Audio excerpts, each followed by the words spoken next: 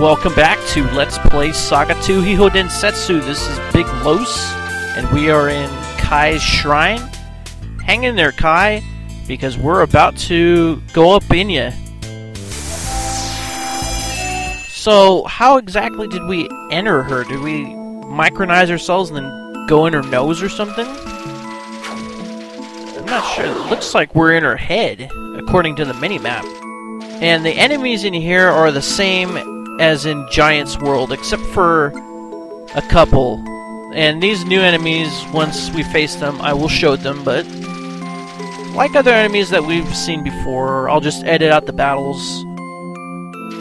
So the episodes will be a little bit shorter and we get straight to the point. Because if you play this game, you'll know that these battles are very tedious and very redundant. Especially when you fight the same enemies over and over and over and over and over. That's kind of why I like to play D&D games. It's really not like that at all. When you grind in D&D, you only need to do about 13 encounters on average to gain a level. Well, level appropriate encounters to gain a level when you play D&D. That's what I read in the Dungeon Master Guide. Because I did used to be a DM and I read all those books cover to cover.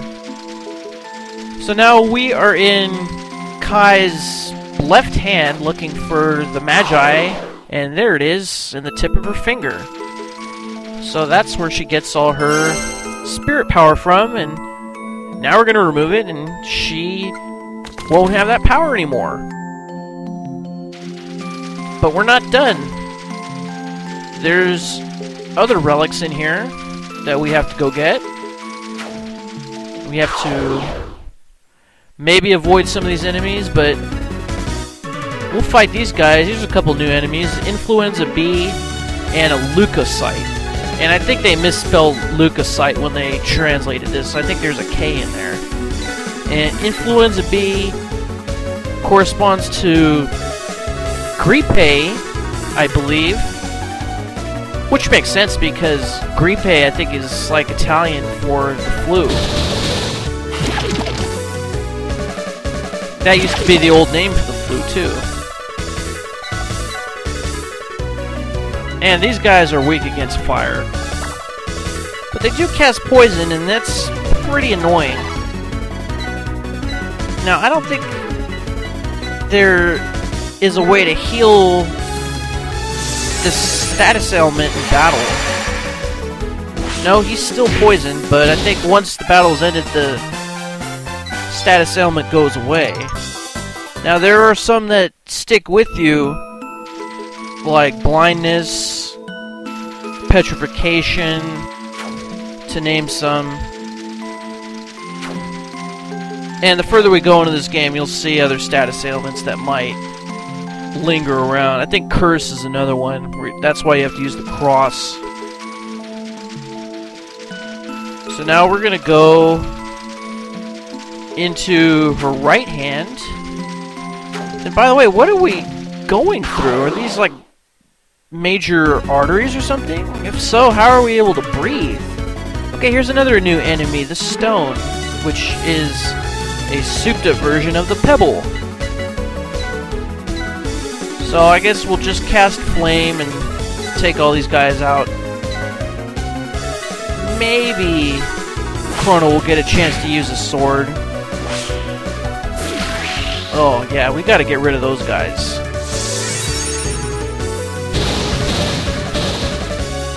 That dissolve ability really takes a lot of HP.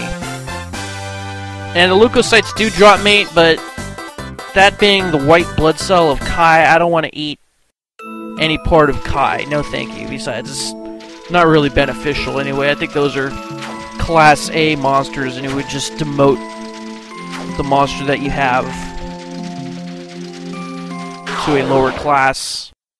Unless your monster was a Class A, of course. Then there's no way it could get any lower.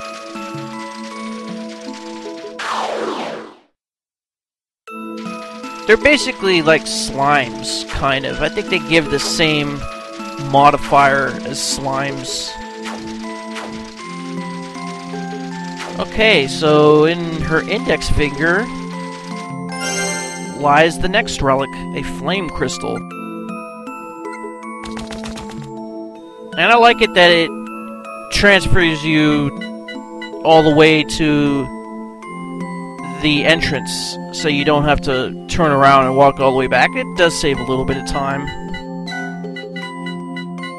So now we got two copies of each relic except for this poison crystal. The poison crystal is kind of like the flame crystal or the ice crystal in that if you equip it, it improves your spirit ability and gives you immunity or at least strength against that type of energy damage. So if you got poison, I think it would actually make you immune to poison. Okay, so we're gonna go into this chamber right here. And I clearly remember doing this in the original game. Where you go all the way around the Aorta, I believe. We fought all those guys before. Those that was a bunch of imps and apprentices.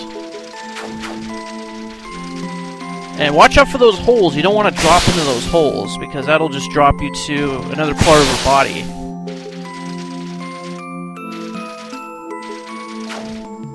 Yes, this is the heart. How Kai is able to survive with monsters and us going around our heart, it's tough to say. Man, that was a pretty tough battle.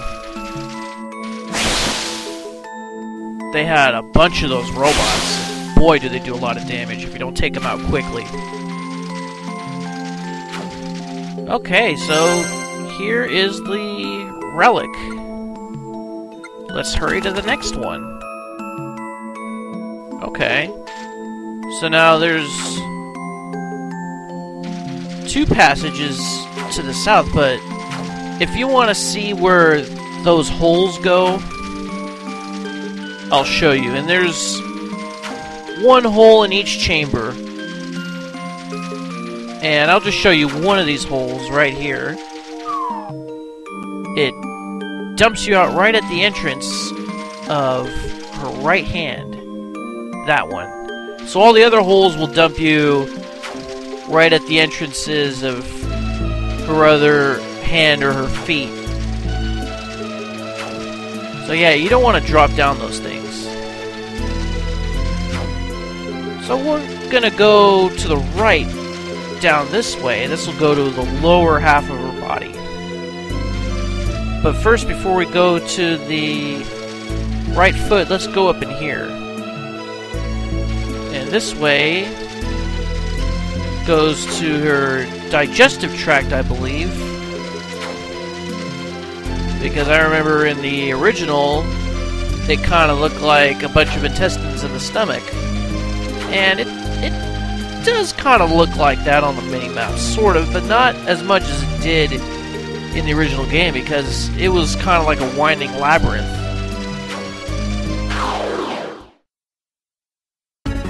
Okay, now I know that we've fought the wood golem before in Ashura's Tower, but here it is as a random encounter. So we're just gonna, I guess, defeat these guys. Notice how I've been using Death and Break a lot. Yeah, and they are definitely weak against fire. No, we don't want the wood golem meat.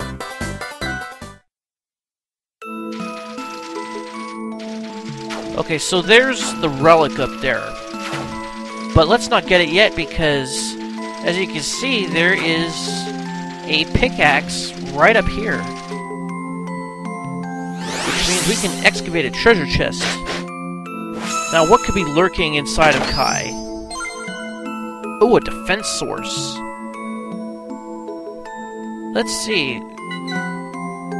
I think Shala has the lowest defense, so we're gonna give it to her. and it's going to raise her defense by three. Now Chrono has the lowest defense, even though he has like the most armor. Pretty ironic, isn't it? Okay, we're going to get this relic and it'll put us all the way back at the entrance where we came in. Now we'll just go all the way down. That's called threading the needle. Unfortunately, you can't avoid some of these enemies. And I didn't thread the needle that time. Too bad. And they actually managed to kill Robo, so we're gonna heal him up. Let's, let's heal everybody up and then we'll cure Robo, even though it doesn't get him quite to his max HP, it's still real close.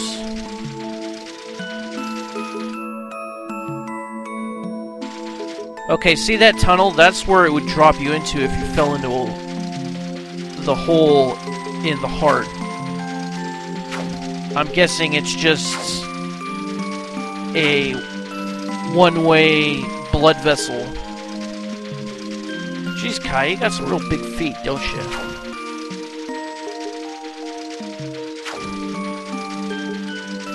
I guess this just shows you that the Japanese aren't into feet binding, it's the Chinese. Okay, where is that relic? It's I know it's in one of her toes.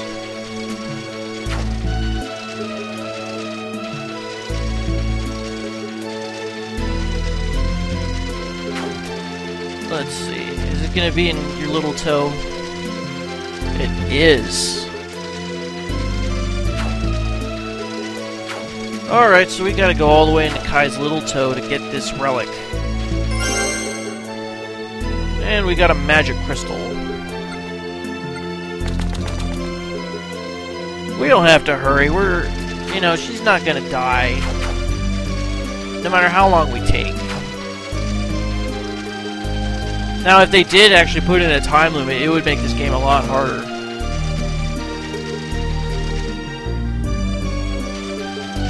So now let's go up and around. And we'll go to the other side.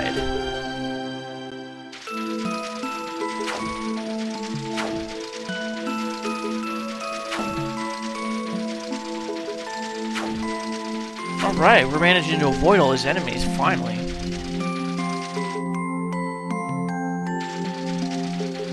That way I can conserve my breaks and deaths on for Glenn.